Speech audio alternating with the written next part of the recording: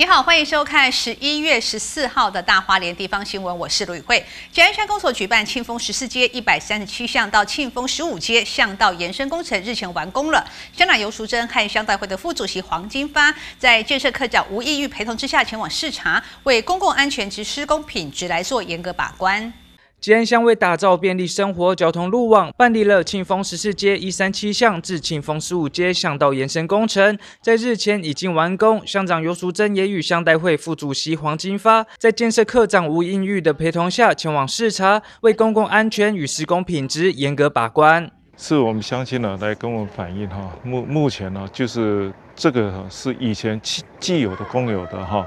这个巷巷巷道。但是呢，一直没有哈把这个巷道打打通了哈，啊，所以乡乡亲呢，这个在耕作了啊，进出各方面都非常的不方便啊，啊，所以啊，我们知道这个状况以后啊，就啊呃跟我们公所哈，谢谢公所哈，这是全力的支持哈。而乡长尤淑珍也感谢县政府对建设经费的全额挹注，携手乡公所与代表会带来新的安全。我们把。长久以来没有办法畅通的一个小巷弄，我们终于打通了，带来的是我们乡亲互相联谊、交通的便利以外，也造就了双方的一个土地的价值和我们在农作的时候的一个便利性，同时也带来整个排水沟哦畅通跟一个完整社区。建构的一个重要建设，我相信勿以善小而不为。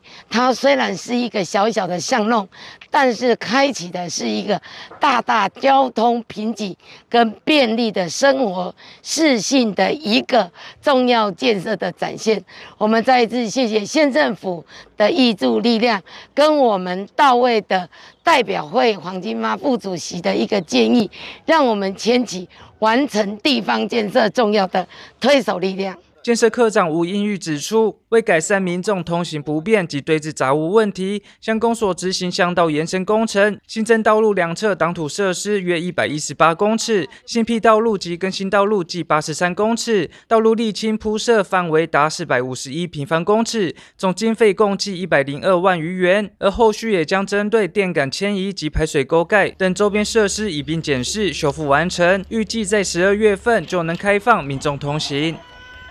记者徐立琴、简安乡报道。